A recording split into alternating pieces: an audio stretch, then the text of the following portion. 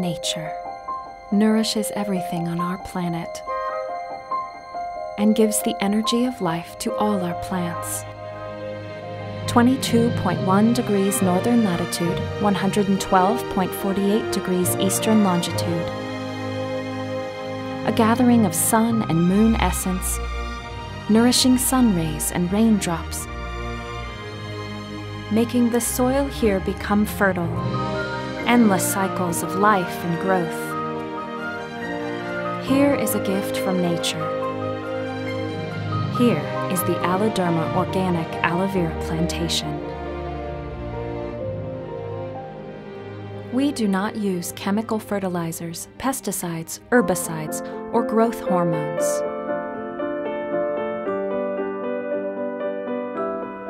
We use only organic fertilizers, and our skilled farmers weed carefully so our aloe plants can grow healthily.